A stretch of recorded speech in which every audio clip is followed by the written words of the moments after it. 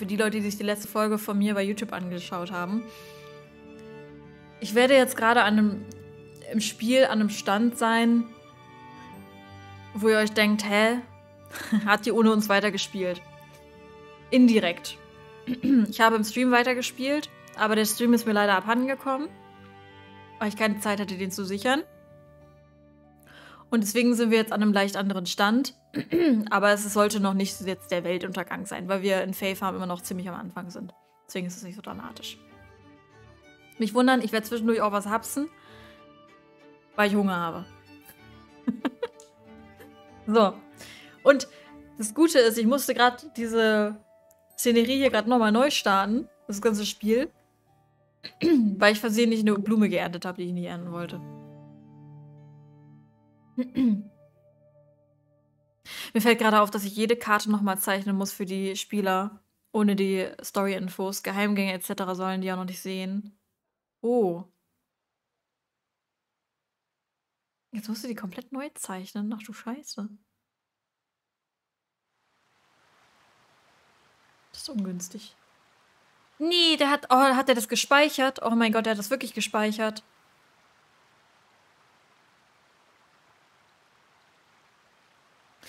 Ach ja, okay.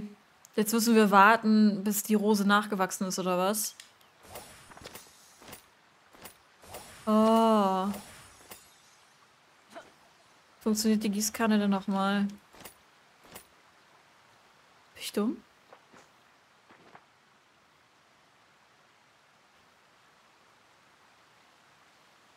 Leute, wie gieße ich? Wie, wie gieße ich nochmal? Ich habe die Steuerung vergessen lange nicht gespielt. Sind fast gleich weit, glaube ich. Hast du heute erst angefangen oder? Äh, obwohl, nee, das, dann wärst du ganz schön schnell gewesen, glaube ich. ich hatte ja, stimmt, ich habe ja auch schon acht Stunden oder so bestimmt drin versenkt in dem Spiel. Wie sie ist, ist ja ekelhaft, dieses menschliche Bedürfnis. Widerlich, oder? Widerlich. Warte mal, ich drücke gerade jeden Knopf, aber ich weiß nicht, wie. Gestern hast du angefangen. Ah ja. Gestern musste ich den ganzen Tag Baldur's Gate spielen. Ich habe jetzt ja die Gießkanne ausgewählt. Ich weiß nicht mehr mit welcher Taste. Okay, ich spiele mit Gamepad, das soll ich dazu sagen. Ich gießen kann. Nicht, dass ich hier gleich wieder die Blume ernte. Oder kann ich die gar nicht gießen? Ah, doch, mit X. Okay. X ist gießen. Dann kann ich die Blume einfach nur nicht gießen, oder was? Ah doch, das geht doch. Hä, aber ich habe doch eben X gedrückt. Okay. Gut. Mysterium hat sich, äh, hat sich, ähm, verzogen. Seltsam, ey. Okay, mein Rookie ist voll. Dann lagere ich mal ein bisschen was ein hier. Boah, wirklich, ich muss dieses ganze Spiel wieder lernen, ey.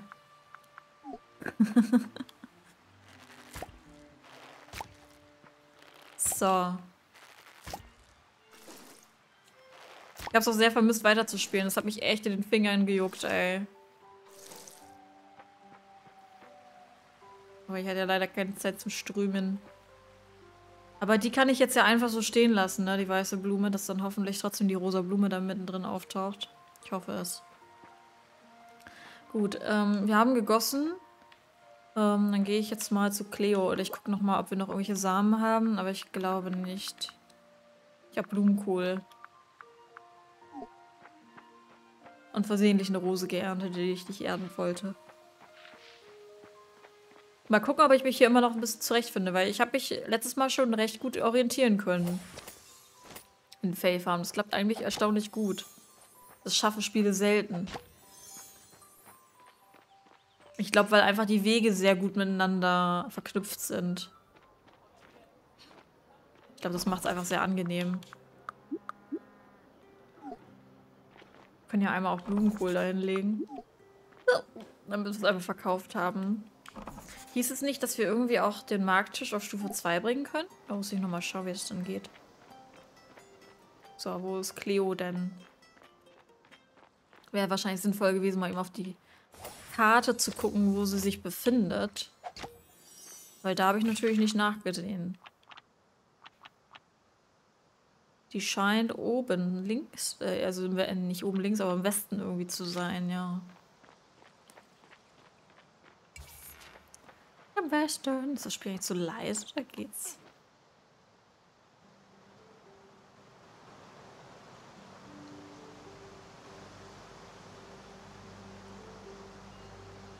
Gefühl, das Spiel wird irgendwie nicht lauter. Das scheint mir sehr leise für euch, ja. Wie bei Grafik oder Musiklautstärke ruhig ein bisschen lauter. Ist ja alles schon auf Maximum. Gefühlt ist heute irgendwie alles sehr leise. Ich weiß nicht warum.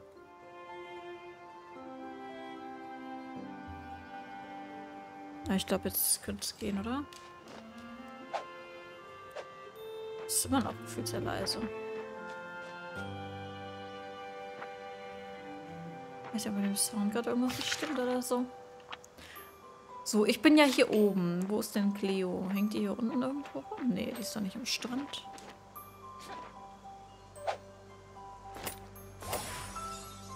Oh, das hier können wir gerne alles einsammeln. Ah, jetzt haben wir, glaube ich, ein bisschen Sound, ne? Ich warum alles insgesamt sehr leise ist heute. Aber jetzt hört ihr zumindest was, das ist gut.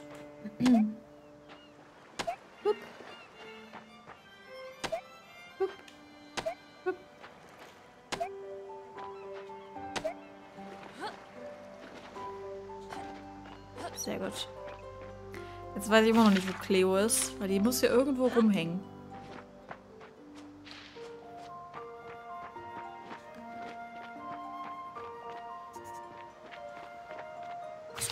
bist nicht Cleo. Cleo.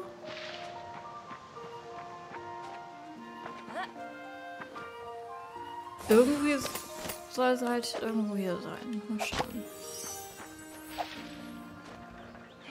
Man hier die Blümchen nicht auch sammeln? Ach, es waren keine Blümchen, sondern Beeren, stimmt ja. Hier ist ähm, der, der Honigmann. Der Bienenmann.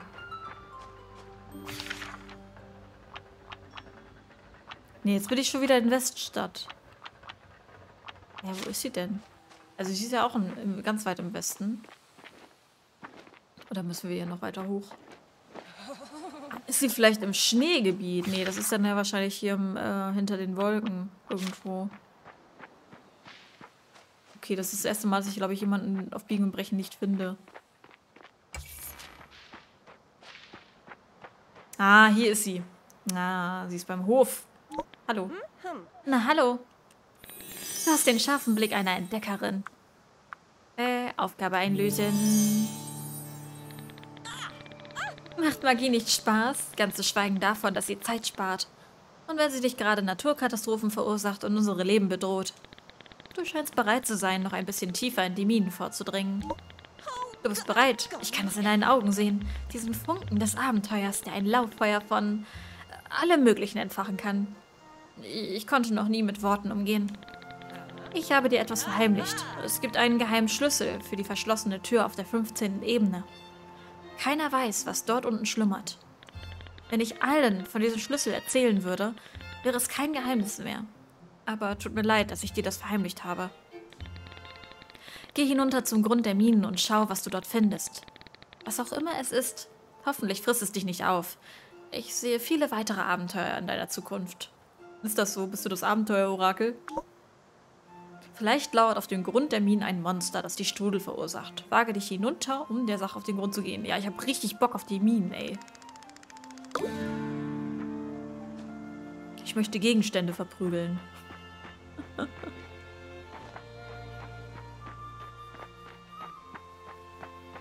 Nachher gibt es dann so einen ganz fiesen Plot-Twist, dass eigentlich diese Welt hier den beseelten Gegenständen gehört und die Menschen, die vertrieben haben. Und dann äh, am Ende arbeiten wir dann mit den Gegenständen zusammen. Und dann endet das hier einfach in einem blutigen Krieg.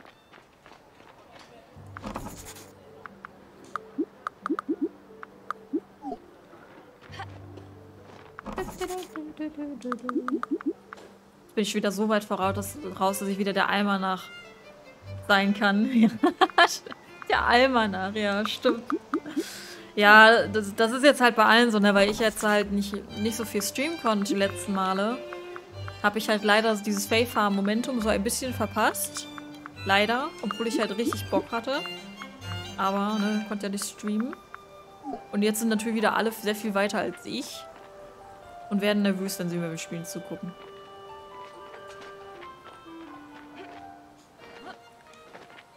So, okay. Aber bevor wir in die Minen gehen, sollten wir uns irgendwie ein bisschen ausstatten.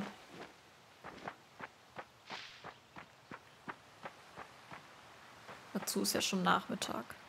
Mit der Blume ärgert mich, ey. Ach so, ich werde mal den äh, Blumenkohl hier auffeuern.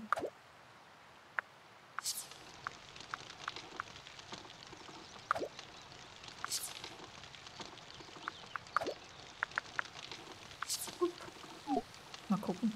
So, ich erstmal kurz was. Curiosity, Hallöchen, schönen Sonntag dir. Hm.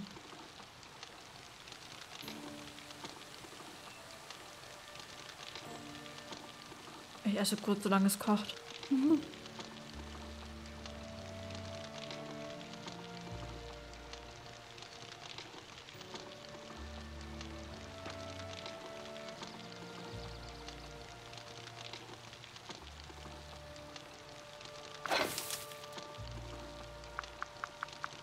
Nur ein Ei.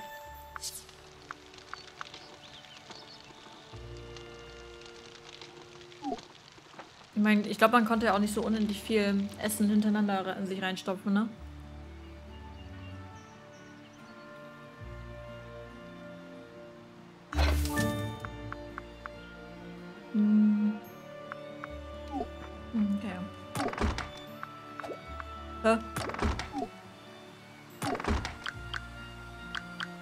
Möchte eigentlich meine...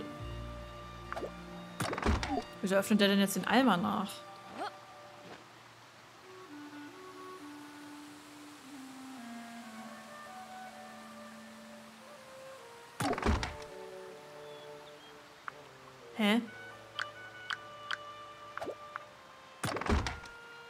Da ist mein Lager.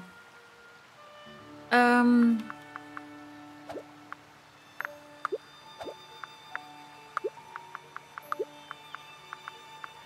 Ja, das Essen nehmen wir mal alles mit. Aber die, äh, die Rose kann... Warum öffnet der denn immer den Eimer nach? Das verstehe ich nicht. Warum macht er das? Hä? Ich will doch eigentlich nur in die Hütte ran.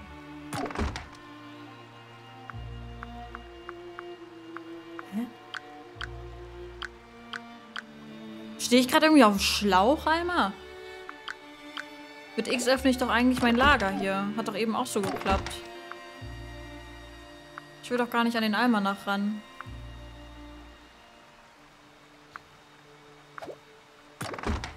Hä? Immer wenn ich dann zurückdrücke mehrmals, dann geht's. Aber hä?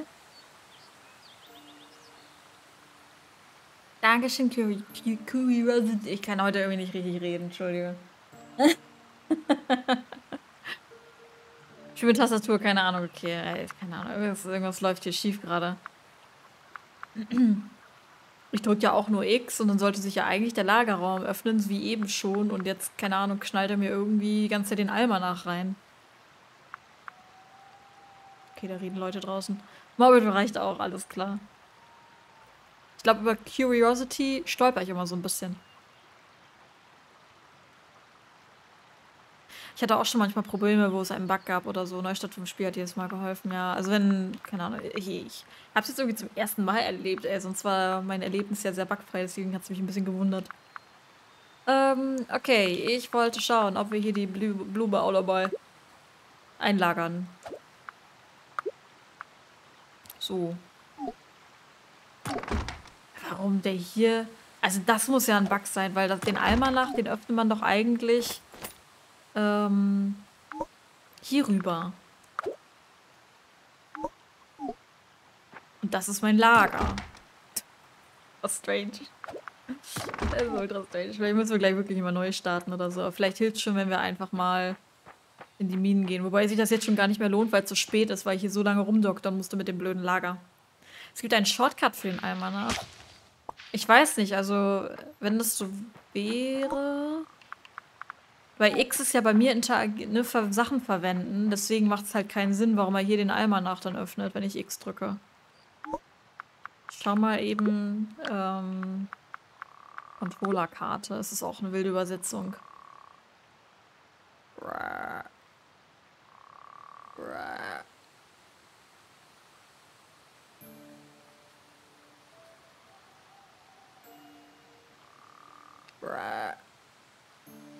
Ich jetzt aber keinen Shortcut für, äh, für den Almanach. Das ist das Emote-Menü. Das ist das Inventar.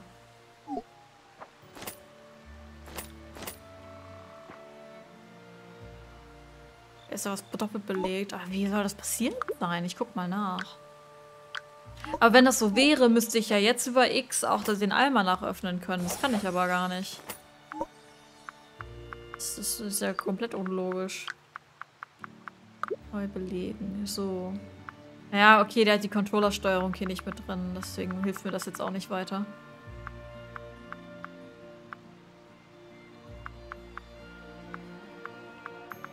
Aber ich will mal gucken, ob der Almanach überhaupt mit aufgeführt wird. Doch, da K, ja gut.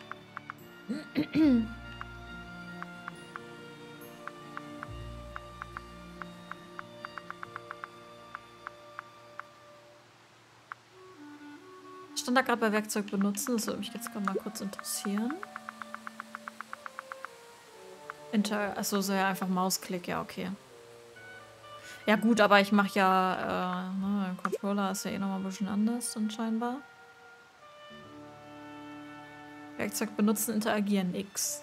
Einmal nach wird ja hier zum Beispiel gar nicht mit aufgeführt. Ja, ich... Jetzt starten wir einfach mal eben neu, das stimmt. Das ist, muss ja irgendwie ein Bug sein. Oder ich gehe mal eben pennen und dann gucken wir mal, ob es noch da, ob das Problem noch besteht.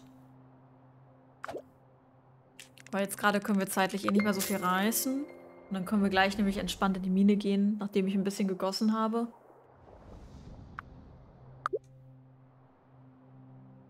Jetzt gucken wir mal. Habe mich nur gerade so irritiert, weil wir jetzt ja noch ganz, ganz früh, also jetzt nach langer Zeit mal wieder spielen. Und dann war ich jetzt gerade so ein bisschen irritiert. Okay, jetzt geht es ja auf jeden Fall in den Lagerraum. Okay. Mal gucken, wenn es nachher nochmal auftritt. Das war ja vorhin auch erst nach einer Zeit, dass es aufgetreten ist. Dann ähm, können wir nochmal neu starten.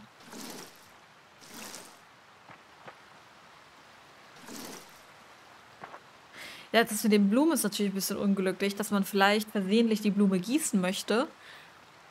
Aber wenn die halt schon gewachsen ist, kann es halt sein, dass die natürlich dann ähm, äh, geerntet wird, ne? Weil Gießen und Sachen ernten auf der gleichen Taste liegen. Auf derselben Taste liegen. So, da Alma wieder der Alma nach ist, ähm, bezüglich äh, ähm, Blumenkreuzen, da reicht es auch wieder, wenn die Blumen einfach wieder nebeneinander chillen und äh, man wartet dann, dass bei dem anderen was wächst, ne? Ich hoffe, ich mache das so richtig, weil links ist ja die Rose, die rote. Und die hatten es ja, glaube ich, so erklärt, dass man irgendwie dann zwischen die Fläche freilassen soll, meine ich. Genau wie bei Animal Crossing, allerdings kreuzen die Arten auch untereinander. Okay, gut, danke schön. Huh. Yay, was Gießkanne auffüllen. So, dann sind wir ready für die Minen. Ich habe richtig Bock auf die. Müssen komplett gewachsen sein zum Kreuzen, okay. Ja, meine rote Rose war auch eben äh, gewachsen leider. Ich habe sie dann ja leider versehentlich geerntet, ne? Weil ich dachte, ich gieße sie und dann hat sie die direkt geerntet. Das ist natürlich ein bisschen unglücklich dann.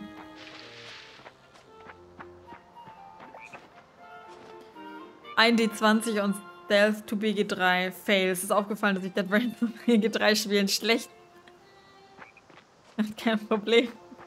Ich, oh, ich, hab, ich bin endlich im Unterreich bei, bei BG3 und ähm, ich habe endlich Gale gefunden. Ich, ich wusste nicht, dass man super früh eigentlich Gale findet. Und ich bin scheinbar... Ich habe alles um ihn herum erkundet. Also wirklich auch bis zum Zent bis auf den Zentimeter genau, drumherum. Es war wirklich nur noch so eine, eine Fläche, die ich scheinbar nicht lang gelaufen bin. Dieser eine Weg, wo Gale sich befindet. Wo man ihn dann trifft. Das ist ja so eine, eine kleine Fläche. Und die war ja auch nicht schwarz oder so, also nicht unentdeckt. Aber an der, an dem Weg bin ich nicht vorbeigelaufen. Ich bin immer links und rechts an dem Weg vorbei. Und dann habe ich mir Gale erst vor ein paar Tagen geholt. Und jetzt ist das Spiel einfach gefühlt um 300% leichter, weil Gale einfach typischer Magier ist, der ultra OP ist.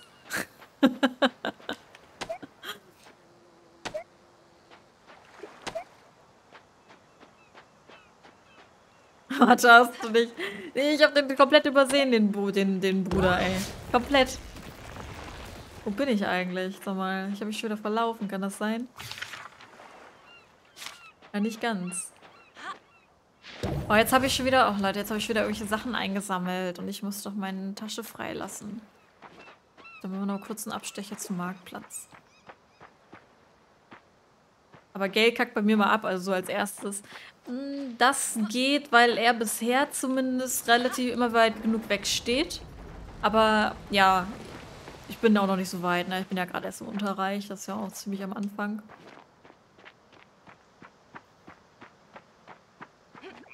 Oh, wo ist denn jetzt der Marktplatz? Ich werde bescheuert hier. Ich glaube, links gleich. So viel zum Thema, ich kenne mich in dem Spiel mittlerweile aus. Ja, ja. Muss mich erstmal wieder neu orientieren. Jetzt bin ich zu Hause. oh, wir werden heute ganz viel in die Mine gehen. Ja, ja. Seht mich an. Ich kenne mich aus. Äh. Alles verkaufen einfach. Alles verkaufen.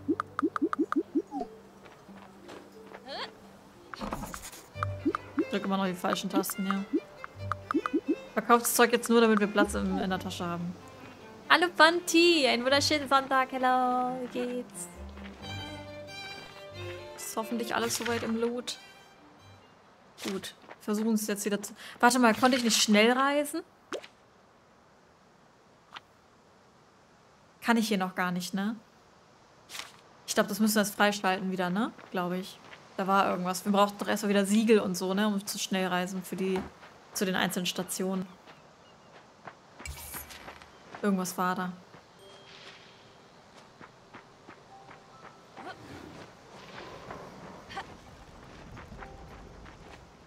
Mami, ich finde die Minen nicht wieder.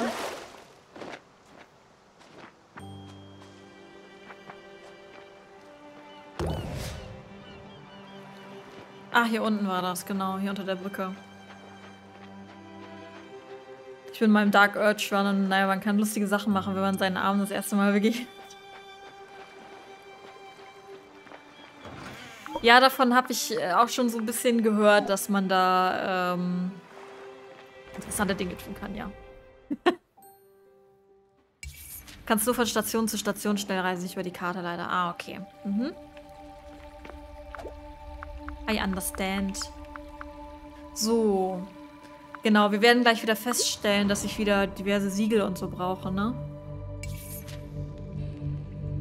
Hab ich mal kurz. Ja.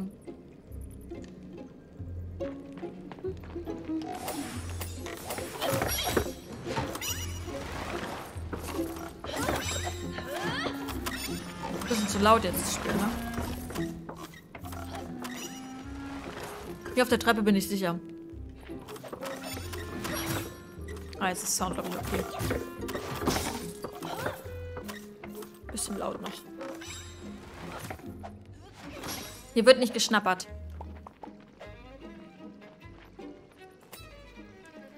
Ach, die Musik ist so gut.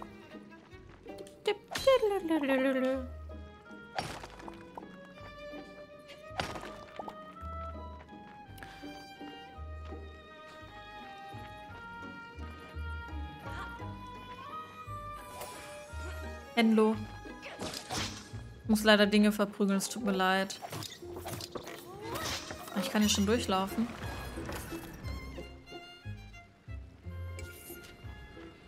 So, und hier können wir, genau, gehämmertes Kupfersiegel. Ah ja. Aktivieren. Ich wusste gar nicht, dass ich hier noch ein Siegel übrig habe.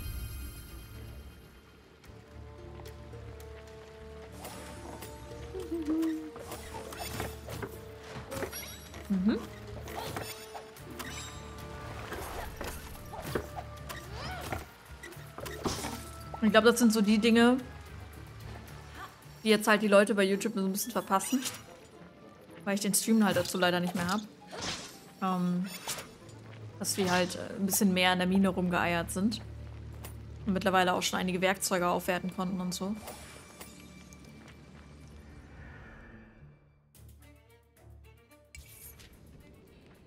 So, was brauchen wir denn hierfür? Auch wieder ein gehämmertes Kupfersiegel, okay.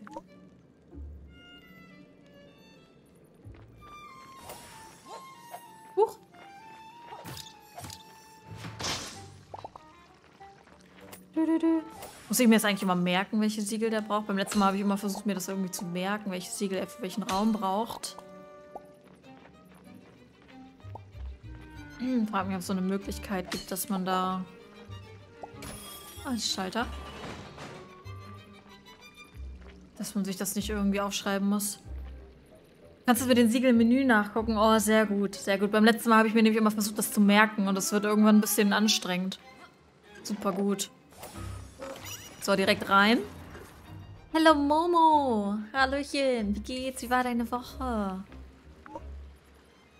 Guck mal, dann habe ich hier sogar noch ein graviertes Kupfersiegel, aber das kann ich noch nicht benutzen, weil wir noch ein gehämmertes brauchen für den vorigen. Diese Räder sind so witzig, ey, mit den Oktopussen drauf.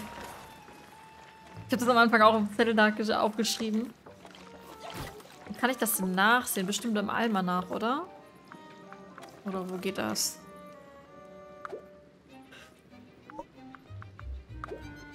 Ähm. Obwohl, nee, der Almanach ist wahrscheinlich ein reines Lexikon, ne? Weißt du, wo ich das nachschauen kann, Alma?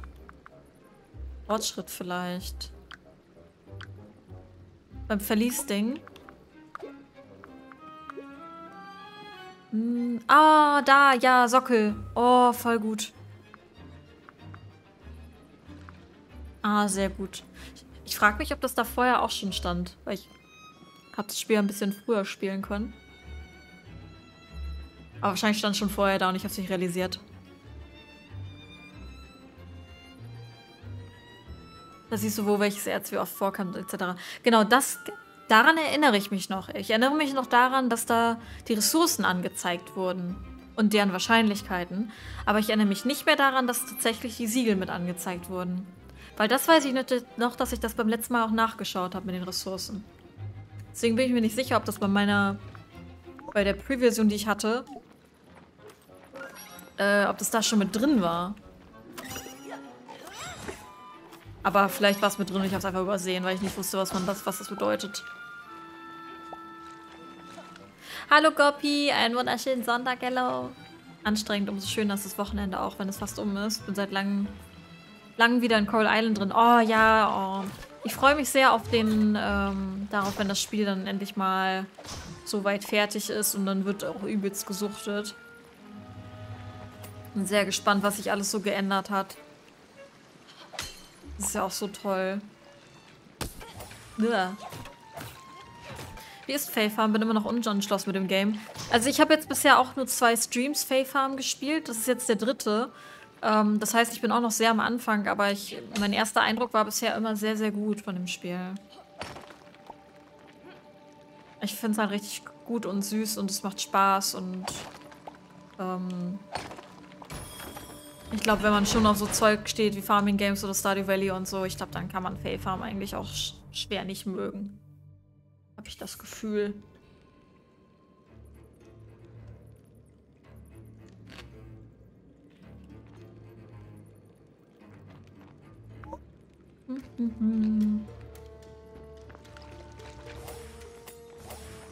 Komm her. Ich meine, hier sind Gegenstände, die wütend sind auf einen. Also, also die, die, die Chaos machen. Das ist großartig. Ich finde halt eben diese Kombination aus Farming-Game und Magie finde ich halt sehr schön. Und ich meine, ich bin ja immer noch an der Oberfläche. Also mittlerweile haben ja auch viel mehr Leute mehr Zeit gehabt zum Spielen. Ich konnte ja leider nicht so viel streamen wieder die Woche. Eigentlich letzte Woche gar nicht und habe dadurch halt sehr viel, so ein bisschen dieses Momentum mit Fae Farm verpasst, leider. Ich meine, ich konnte wenigstens schon vorher ein bisschen spielen.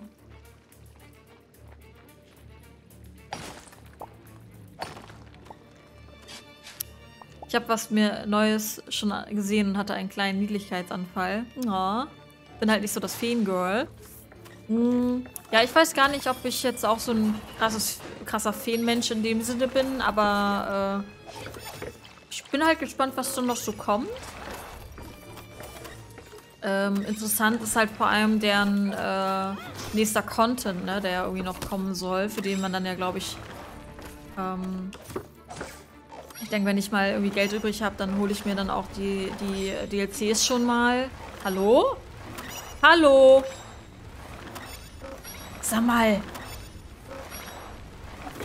Seit wann kommt man denn nicht an die ran? Normalerweise konnte ich doch um, um den drum herum laufen, irgendwie ohne Probleme, ohne dass du mich richtig anvisiert.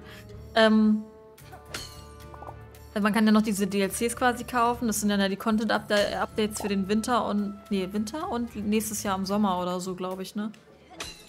Ähm.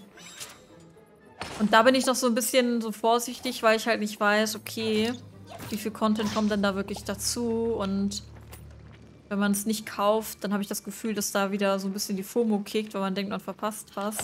Weil ich glaube, dann gibt es auch neue Gebiete und so.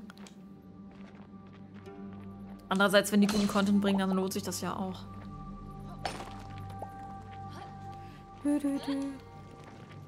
Aber ich bin auch noch nicht, nicht irgendwelchen Feen begegnet oder so. Das, äh, wir sind noch wirklich noch ganz früh dabei. Hab es mir auch geholt, bin bisher, bin bisher echt überzeugt. Das freut mich, Alicia, dass du da Freude dran hast. Finde ich schön.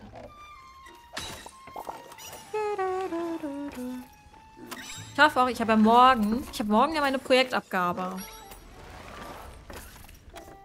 Und wir sind morgen direkt auch die zweite Präsentation, was ganz cool ist. Und ich denke mal, dass ich... Ich muss das mit Jules noch absprechen, aber ich denke mal, dass ich noch morgen Nachmittag, wenn es passt und er nicht irgendwie Pen Paper oder sowas hat, dass ich dann morgen Nachmittag auch wieder streamen werde, um wieder so ein bisschen die Zeit reinzuholen.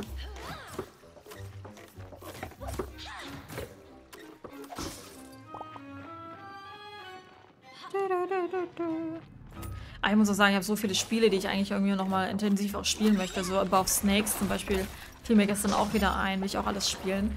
Aber jetzt spiele ich ja privat Baldur's Gate. Und wenn ich mal was Kurzweiliges brauche, suchte ich Vampire Survivors. Oh Gott, Entschuldigung. Vampire Survivors, kurzes Bäuerchen gerade. Und Vampire Survivors ist einfach wie Crack. Und wenn ich ein bisschen was nicht was ganz so schwerwiegendes wie Baldur's Gate brauche, was so intensiv ist, aber ein bisschen Action, spiele ich Prey. Das ist momentan eine wilde Mischung bei mir. Lizzie, du musst wieder streamen. Ah, ja, ey, ich, wirklich, mir geht's immer rapide schlechter, wenn ich nicht streamen kann. Das ist halt echt so. Nicht nur, weil irgendwie der Druck steigt oder so, sondern einfach, weil ich es wirklich vermisse.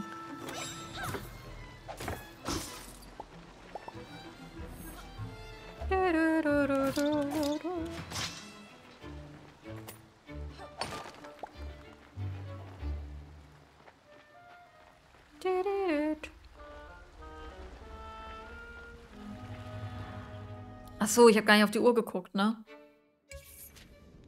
8.45 Uhr. Ach cool, dann haben wir noch ein bisschen Zeit. Das ist ein sehr wütender Anker, glaube ich.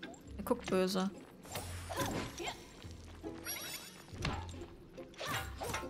Ich finde es halt cool, dass sie es halt euch geschafft haben, dass das Kampfsystem angenehm ist. Ne? Das ist jetzt nichts Aufwendiges. Das ist auch okay so. Aber es fühlt sich halt überhaupt nicht clunky an. Ich habe jetzt da in meinem Leben schon sehr viele, auch Indie-Farming-Games gespielt. Und mal reingeguckt. Sehr viele. Und das Kämpfen ist bei vielen dieser Spiele oft sehr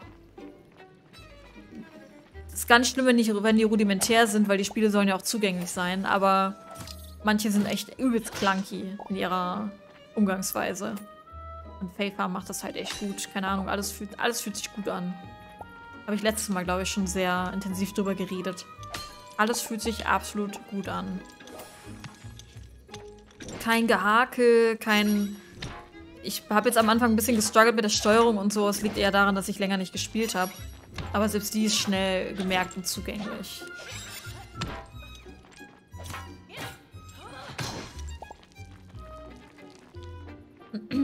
ah, das ist schön, äh, Ricardo. Voll gut.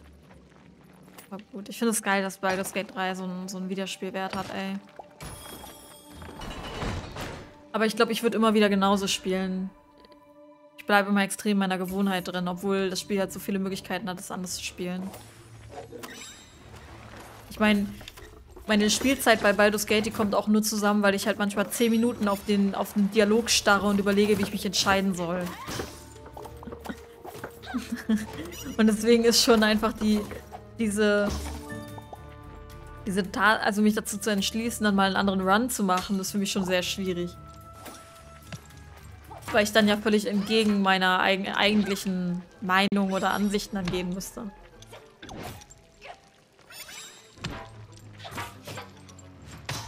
So.